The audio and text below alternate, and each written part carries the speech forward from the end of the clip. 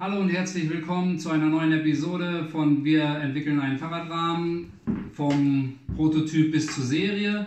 Und ein wichtiger Teil dieses Prozesses ist halt eben auch die, die Marke oder bei anderen Projekten wäre es dann eben der Markenname von dem, von dem Fahrrad. Wir kreieren in diesem Fall eine komplett neue Marke und machen eine neue ähm, Bike-Marke auf. Warum machen wir das? Der Grund ist ganz einfach. 77 Designs ist für uns Komponentenhersteller und wir wollen uns da auch keine OEM-Optionen für die Zukunft versauen oder verbauen und deshalb musste eine neue Marke her. Jetzt möchte ich euch gerne mal erklären, was es mit der neuen Marke auf sich hat und wie wir dazu gekommen sind.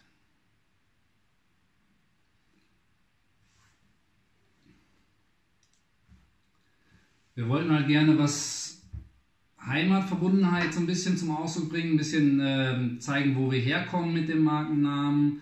Und da war dann irgendwann nach Brainstorming mit den ganzen Buddies irgendwie und ein paar Bierchen kamen wir dann halt eben bei Masematte raus. Masematte ist so, eine ganz, ähm, so ein ganz alter lokaler Slang hier, der zum Beispiel auch Worte beinhaltet wie Leze oder Mottek, heißt Hammer, Leze heißt Fahrrad und äh, Kaline für Frau oder Mädchen und eben auch Kavenzmann.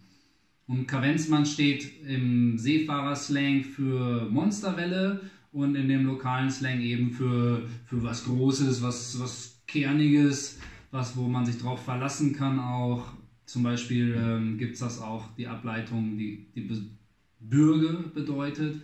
Und das Fahrrad, das bürgt halt einfach für eine enorme Fahrstabilität und Sicherheit. Und die Monsterwelle, die assoziiert halt eben, dass man über alles drüber wegbügeln kann mit dem Bike. Und deshalb fanden wir den Begriff eigentlich sehr kernig und sehr zutreffend. Und ähm, andere Geschichte ist noch, warum haben wir das nicht Kavenzmann genannt, sondern Kavenz mit einem Z am Ende. Das hat den ganz einfachen Grund, wir mussten ja auch eine Marke finden, die sich durchsetzen kann, die man auch äh, verteidigen kann und äh, die man auch registrieren kann.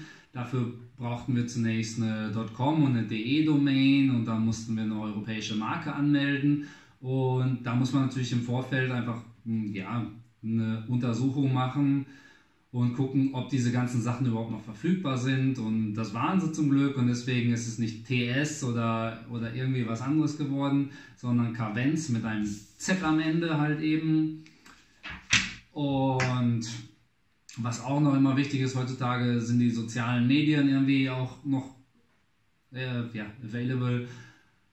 Ähm, und das waren sie. Kavenz, Hashtag Kavenz zum Beispiel gibt es nur, habe ich nur einen Hashtag gefunden. Ist also super genial, weil wir dann wirklich mit, mit einem blanken Blatt Papier starten können und wirklich eine komplett neue Marke darum herum aufbauen können. Das hier waren so die ersten Entwürfe fürs Branding. Das war uns dann aber hinterher zu düster und zu like, irgendwie böse. Dann hat sich das halt eben so weiterentwickelt. Dann waren wir hier so ein bisschen mehr so hipstermäßig unterwegs dann ging es hier so ein bisschen mehr, was weiß ich, ich sag mal so rechtsanwaltsmäßig oder so, ein bisschen äh, vertrauenswürdiger. Und daraus haben wir dann, sind wir dann hier in die Richtung gelandet. Hier sind noch die Serifen dran und das A hat sich entwickelt als, als kleiner Berg, als Bergeinheit. Bisschen reinzoomen. Ähm, das ist jetzt schon ziemlich nah dran am Finalen. Und hier? Das sind alles noch andere Projekte gerade auch. Ich zeige es euch mal auf dem Blatt Papier. Das ist jetzt eben das finale Logo. Das A hat noch eine kleine, ähm, eine kleine weiße Spitze bekommen, um wirklich ganz klar und deutlich zu machen, das ist ein Berg.